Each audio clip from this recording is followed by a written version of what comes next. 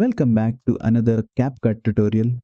Today, we're learning how to create a flash transition, a simple yet stylish effect to add energy to your video edits. Let's get started. First, place two clips on the timeline next to each other. Click on the Transitions tab on the top. Search for the flash in the search bar and you can see a lot of flash transitions in the list of options. You can click on it and see how it looks with your footage. Experiment with these available flash transitions and see what works the best. My personal favorite is floodlight transition. Drag the transition directly between your clips.